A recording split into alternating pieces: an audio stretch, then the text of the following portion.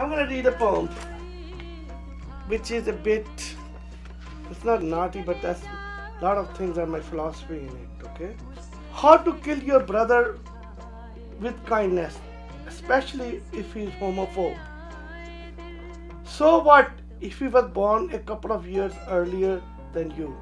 It doesn't give him the right of the caliphate. Make your father wish you were the elder. Make him look bad by getting the best grade in the school. Remember, in some species, only the strongest offspring survive. Exercise daily. Wear the trendy clothes. Never wear khaki. If you have sisters, become their best friend. Share the beauty tips and occasionally clothes. Learn to dance. Girls love the boy who can dance. Escort your sister's girlfriend to their homes. They will tell your sister that you are a thorough gentleman. Entertain your sister's gentleman caller and always praise them. Learn to lie. And when sisters hate them, you hate them too. Time to tell the truth. Be religious. Go to the church, mosque, temple, or synagogue. God is androgynous. She understands. If not, nothing else, you will have the better chance to have a good time with the holy man.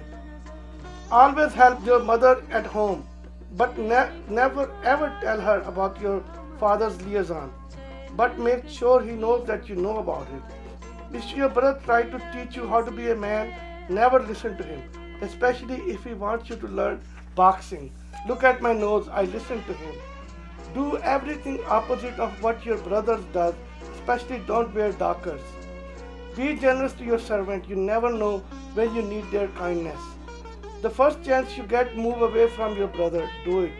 Move to a metropolitan city. Never settle in a suburb. In practical life, not only your brother, but the whole society is against you. No one will understand your homosexuality, and sometimes you won't either.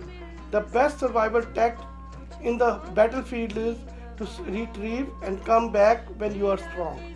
Remember, only the agile and strong survive in the jungle. Take your boyfriend's sister to your brother's wedding. Do not exclude him. Dance with her all night. Dress up to the T, upstage your brother. And when you are settled down, call your brother and tell him on the phone, never in person. By the way, all the rumors about me being gay are true. Hear him say, I know it. Then tell him about his macho, homophobe, married childhood friend. I slept with him. Hear a deep silence on the other end. And by the way, I was the top. If nothing else, that would kill him.